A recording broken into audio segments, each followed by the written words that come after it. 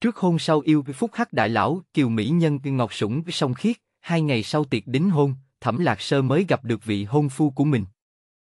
Một người thấy sắc nảy lòng tham, người kia lại vì mục đích khác mà cố ý tiếp cận. Ngoại giới đều đồn đại cố Nghiễn Châu tính tình kiệt ngạo bất tuân, phóng đảng bất kham. Nhưng chưa từng nghĩ, hắn lại đem mỹ nhân bên cạnh sủng lên trời. Bên bờ sông nhỏ, dưới cầu lớn, nhìn gương mặt cô bị khói lửa chiếu đỏ, anh cong khóe môi cười có chút lãng mạn, thẩm lạc sơ, em có muốn thử yêu anh không? Nửa năm sau, trong tay hai người lại cầm một quyển giấy chứng nhận ly hôn. Cố tổng, bên người thẩm tiểu thư nắm cục thịt nhỏ giống anh lắm. Cuối cùng, trong một đám cưới lớn, anh lại đeo chiếc nhẫn kim cương đó cho cô. Đôi mắt thẩm lạc sơ ướt sũng, ông chặt lấy người yêu trước mặt. Cảm giác gặp anh, giống như là đi một quãng đường rất lâu, cuối cùng cũng về đến nhà. Chương 1 Lễ đính hôn Bạn đang nghe tại truyện chấm audio. Đã có lỗi xảy ra trong quá trình lấy test.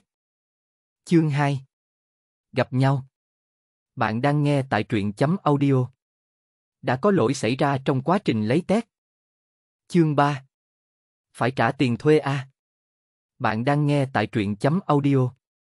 Đã có lỗi xảy ra trong quá trình lấy test. Chương 4 Say rượu bạn đang nghe tại truyện chấm audio. Đã có lỗi xảy ra trong quá trình lấy test. Chương 5 Phiếu nợ đâu? Bạn đang nghe tại truyện chấm audio. Đã có lỗi xảy ra trong quá trình lấy test. Chương 6 Yến hội Bạn đang nghe tại truyện chấm audio. Đã có lỗi xảy ra trong quá trình lấy test. Chương 7 Nụ hôn đầu tiên Bạn đang nghe tại truyện chấm audio. Đã có lỗi xảy ra trong quá trình lấy test. Chương 8 Đừng để người phòng không gối chiếc. Bạn đang nghe tại truyện chấm audio.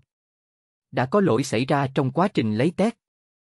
Chương 9 Bị khi phụ. Bạn đang nghe tại truyện chấm audio. Đã có lỗi xảy ra trong quá trình lấy test. Chương 10 Cho ngươi một cơ hội tới gần ta. Bạn đang nghe tại truyện chấm audio. Đã có lỗi xảy ra trong quá trình lấy test.